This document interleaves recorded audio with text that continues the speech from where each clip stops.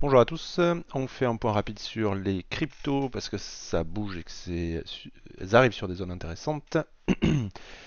Alors en weekly, donc c'est le chart de Bitstamp au lieu de, Binance, euh, juste parce qu'il y a plus d'historique. En daily, on a lâché le Vegas euh, Daily et le weekly est ici dans la zone, euh, enfin il s'overlap un tout petit peu avec la zone d'achat donnée par l'algorithme donc c'est relativement euh, intéressant. Bon, on voit bien sur le momentum la divergence euh, weekly, donc momentum qui était passé rouge dès cette candle ici, donc ça n'a pas, euh, ça pas raté. On est toujours au-dessus de ce point-là sur le momentum. Donc on peut toujours créer éventuellement une convergence haussière, même si ça semble de plus en plus difficile. En tout cas, on arrive sur une zone qui est intéressante. On va repasser sur le, graphe de, Binance, juste pour se rappeler que voilà, le weekly est ici. parce qu'il voilà, on a juste le début sur l'autre parce qu'il y a moins d'historique. Donc, on a perdu le Vegas Daily, on a perdu le support intermédiaire ici qui aurait pu recréer une dynamique beaucoup plus haussière. Donc, on n'arrive pas à maintenir euh, cela. Donc ça, on en parle depuis un grand moment, hein, depuis ça. Euh, sur le Discord. On va tracer, voilà, petit canal weekly pour avoir une idée. Voilà, on a beaucoup de choses qui arrivent dans la zone ici, euh, donc ça va être intéressant au moins de jouer un rebond, hein. on verra ce qui se passe euh, au-delà, mais au moins pour jouer le rebond. Donc le RSI en daily, il est excessivement bas, mais il ne diverge pas encore. ce qui est un poil embêtant, ce qui est un poil embêtant. Mais bon, on verra. Ouais, on verra bien ce que ça donne. Le momentum daily tend à diverger, euh, donc ça c'est pas mal. Ça déjà, euh, on a déjà ça, on a au moins cette tentative de ralentissement. Donc la zone d'achat est un peu plus basse. Ok, cette zone sera très importante. Donc ça c'est la zone weekly. En daily il l'affine ici, mais on verra. En plus il l'affine dans la zone pile poil où on a le Vegas euh, Daily, euh, Weekly, pardon, excusez-moi. Regardez, hop. Si je mets ça comme étant une box daily et que je vais en weekly. Ah oui, pas très intelligent. Si je mets que c'est une box weekly, on va pas la voir sur le. Voilà. Voilà, vous voyez. Le Vegas est dans la box, donc ça c'est grosse zone d'intérêt, mais je vais quand même regarder avant dès qu'on arrive dans la zone euh, orange, la première zone orange, voir ce qui se passe parce que euh, c'est tout à fait possible. Hein. donc qu'on tombe jusqu'ici, qu'on fasse un premier. Pardon, ma souris a fait un truc bizarre. Donc c'est tout à fait possible qu'on fasse un premier rebond. Ok et qu'on retombe comme ça. Et ce premier rebond là, cette première oscillation d'enchère permettra la création de la divergence sur le RSI également.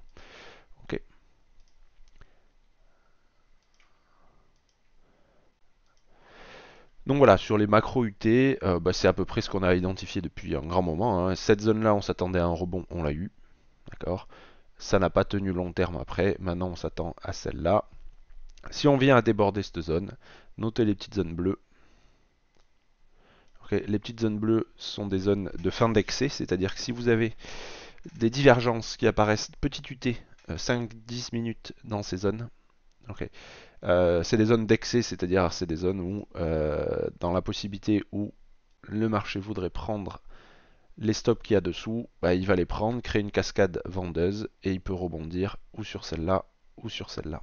D'accord Je petite préférence sur la première. S'il fait ça, il rebondira fort, parce que c'est vraiment dans ce cas-là une prise de liquidité. Et donc on ira très vite chercher un niveau au-dessus. Ça ne veut pas dire qu'on refait un ATH, ça veut dire qu'on ira vite chercher une résistance. Ok euh, L'algo va en plot une par ici, c'est sûr. Là, c'est c'est trop tôt encore, il attend de voir ce qu'on fait. Mais euh, voilà. Et très long terme, pas du tout dit qu'on y aille, bah, les 20 000, hein, c'est forcément une zone d'achat si on y va. Euh, encore une fois, ne vous laissez pas influencer par les chiffres, vous dire 20 000 c'est hyper bas, 20 000 c'est hyper bas, vous pouvez demander à ceux sur le Discord, quand on était là, on était déjà en train de projeter un retour sur 30 000, donc une baisse de 50% du prix sans aucun euh, problème. Ok. Donc en 4 heures, hop. Donc le Vegas 4 heures est bien euh, baissier complètement. En 4 heures, on voit qu'on a une zone à l'intérieur de notre zone weekly ici. Donc on va la noter. Box H4, voilà, qui est sous le trait de tendance euh, du canal ici. Donc, hop, petite alarme en plus. Voilà, d'ici là, il n'y a pas grand chose à, faire. Hein. Euh, qu'est-ce que c'est ça? D'ici là, il n'y a pas grand chose à faire sur, euh, BTC. À part éventuellement chercher des shorts petit UT en intraday. Hop. Ok. Donc pourquoi pas ici.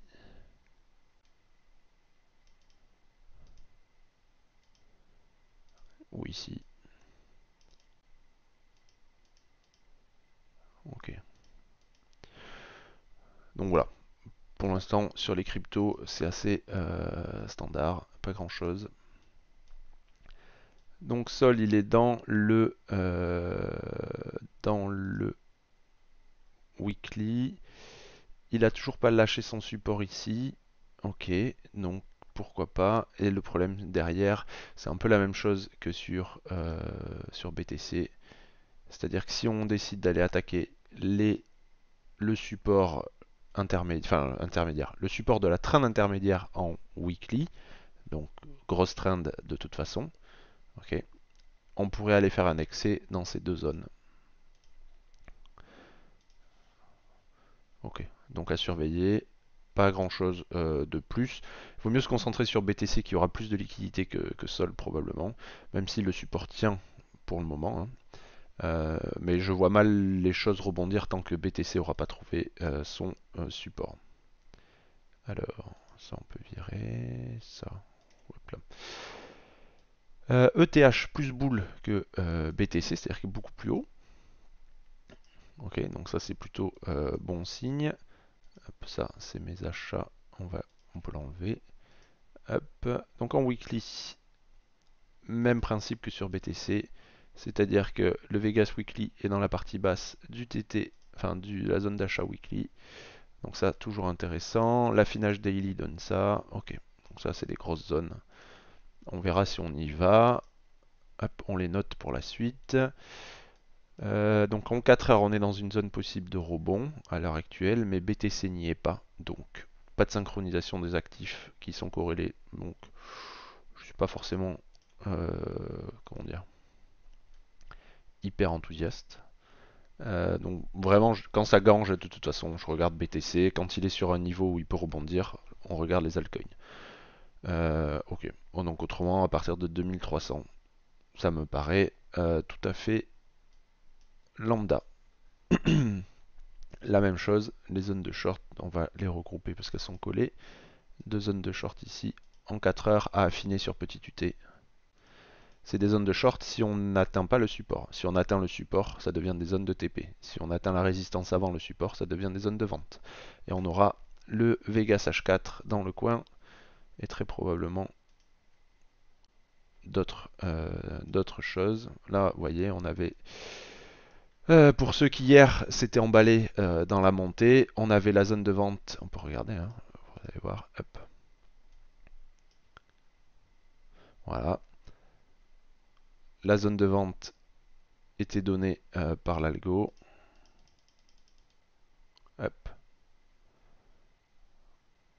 Donc la première a été traversée, il n'y a pas de réaction dedans, donc on s'en fiche. La deuxième, on arrive dedans. C'est pas qu'il efface au fur et à mesure, hein, c'est qu'il ne garde dans les options d'affichage. Vous pouvez voir combien de zones consommées vous voulez voir. Par exemple, si je mets deux.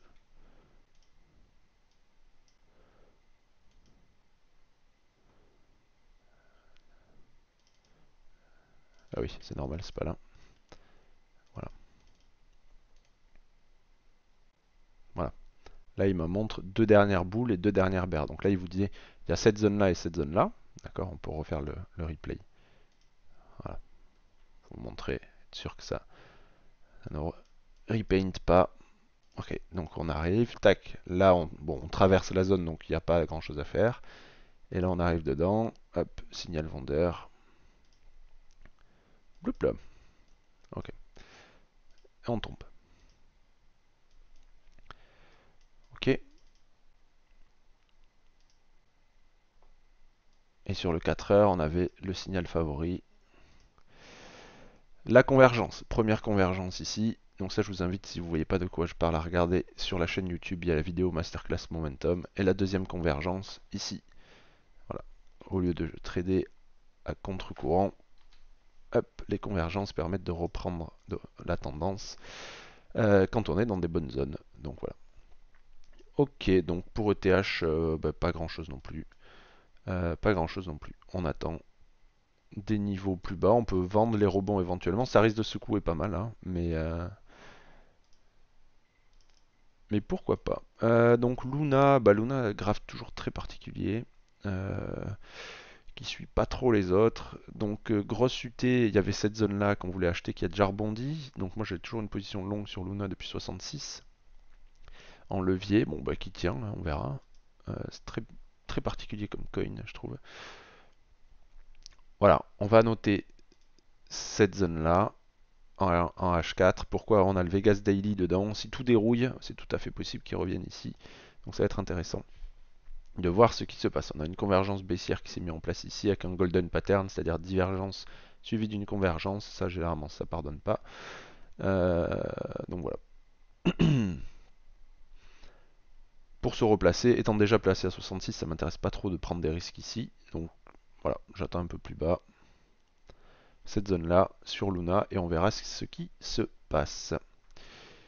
On verra ce qui se passe. Très bien. Bon, ben voilà, on a fait le tour des cryptos. Ça gange. Encore une fois, on l'attend depuis un grand moment. Euh, bah, depuis là, hein, quasiment. Ou euh, bah, sur le Discord, si vous cherchez dans l'historique, arrivé ici. De toute façon, j'ai dit que j'allégeais tous mes coins parce que ça sentait la fin euh, d'un cycle. Hein. Et donc, voilà. Maintenant, prêt pour refil sur les belles zones ici. On est prêt sur les, zones en excès. Je vous rappelle que les zones en excès qu'on a identifiées en daily seront situées dans le Vegas Weekly. D'accord? Donc ça, très important. Donc, on est prêt pour tous les scénarios. Le scénario où on rebondit dans la case, le scénario où on va faire mal, c'est-à-dire qu'on tient, on va chercher le, fond de la case acheteuse, qu'on a identifié aussi, et le scénario Max Payne où euh, ben, on casse le support, on prend, vous voyez, hein, il vous dit ici, attention, il y a un pool de liquidité ici. Donc il faut faire attention, il y a forte probabilité qu'on aille l'attraper. Si vous regardez en daily, je crois que c'est encore pire. Je cache les dessins en daily. Voilà. Liquidité, tout ça. Donc ça, c'est pour ça qu'on a on est prêt sur le scénario. tous les, sigles dollars ici vous montrent qu'il y a un pool de liquidité qui est là dedans. Et donc si on arrive en bas, il y a une forte probabilité qu'on aille attraper ça quand même. Même chose ici, hein, il vous dit attention, il y a de la liquidité ici, regardez, hop, on va l'attraper. Et on redescend. D'accord? Et on a recréé la liquidité en descendant ici. Alors, ça peut être de la liquidité protégée, dans le sens où on n'ira pas la chercher parce que c'est des gros qui ont créé ce bottom, ce qui est tout à fait possible parce que c'est plutôt un rounding bottom, enfin au moins sur la première partie. C'est-à-dire qu'on a créé des enchères sur la zone. Donc c'est possible que ce soit une zone défendue, mais... Hmm, Celui qui a vendu là, hein, il a besoin de ce pool là pour TP. Donc on est prêt avec nos deux zones d'excès. Euh, ça serait le max pain, la catastrophe pour tout le monde et euh, la même chose qu'il y avait ici quand ça tombait, d'accord, que tout le monde était, euh, au bout du monde parce qu'on avait cassé ça. Et eh bien on avait longue la petite divergence une minute à 29k, d'accord, et derrière on a fait bah, largement plus de, x2. Hein. Vous imaginez le, le stop une minute pour faire ça derrière. Bon, moi j'avais stop ici, hein, mais le, truc, mais c'est pas grave. Voilà. Voilà, voilà. Donc on est prêt pour tous les scénarios. Et euh, pas la peine d'écouter Bullshitter hein, euh, qui vous disent à chaque fois que c'est le bottom. Hein. Alors ils auront forcément raison une fois, mais regardez depuis combien de temps. Ils vous disent que ça l'est, le bottom. Allez, bonne journée à tous.